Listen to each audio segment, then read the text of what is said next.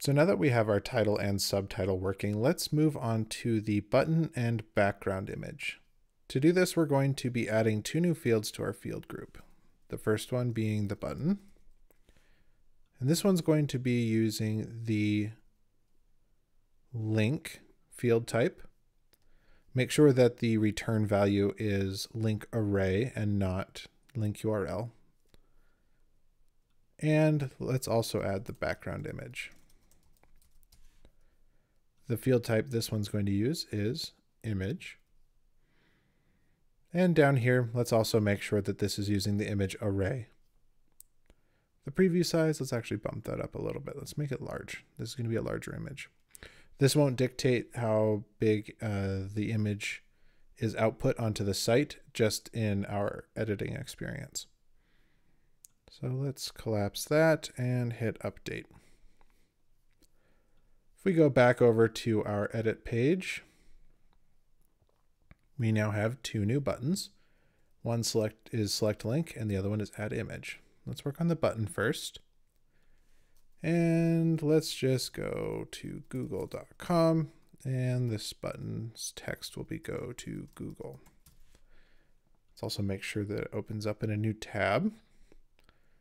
And now that we've done that, we get this little dialog down here showing us what our link looks like.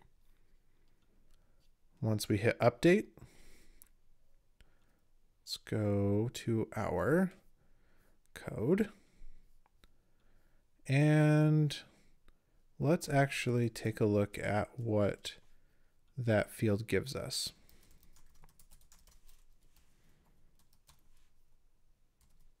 Oh, we named it button, didn't we? So this is what that link field type, if you select the link array, that's what it will return to us. It'll give us the title, the URL, and the target. So whether or not it opens up in a new tab. And let's actually start implementing this. So we have this anchor down here that we want to put that information into. Let's drop everything down onto a new line here. So let's get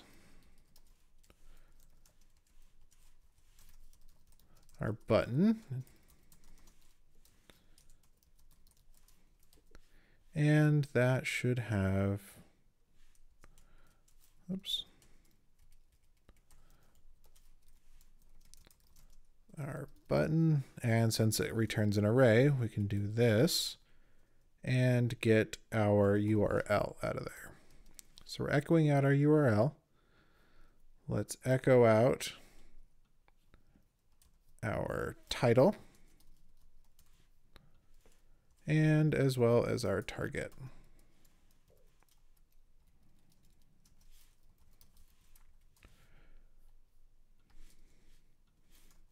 Just make sure that's in the correct spot. So we've got our link, our target, and the text that it should display in our button. Let's go back and double check. Let's make sure we don't leave this in there. All right, so now we've got our button and it should open up in a new tab to Google, which it did. Awesome. It's exactly what we wanted.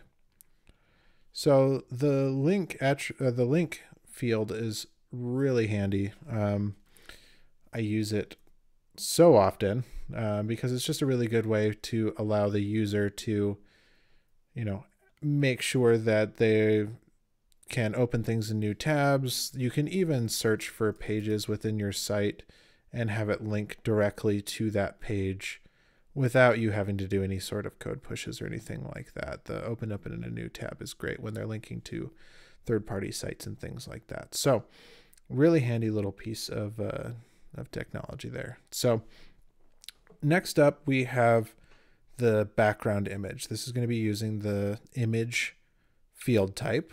So let's quickly go back to our homepage. Let's comment that out. So we have this background image. Let's get rid of it. That is being held inside of our CSS. So if we go to our front page template, you can comment that out.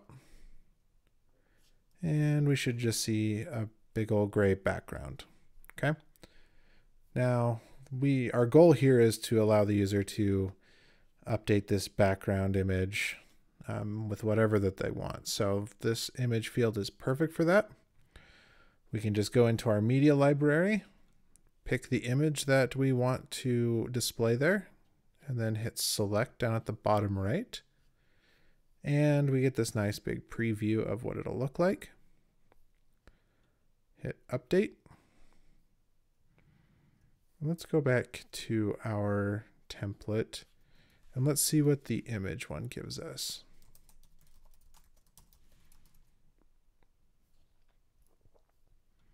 So we refresh this page, it gives us a lot more than the link did.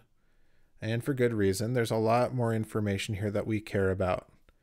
Um, you can get everything from the image ID to the title, all this kind of stuff.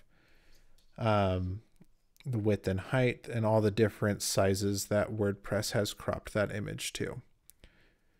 Now, nine times out of 10, you're probably going to want to use this sizes um, array because you never know what's coming through that image upload.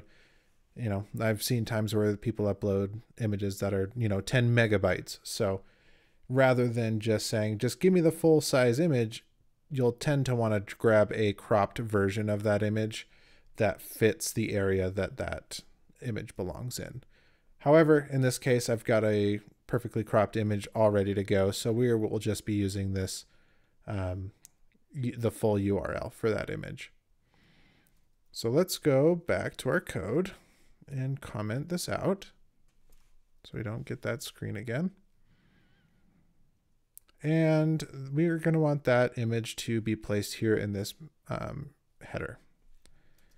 So we want style equals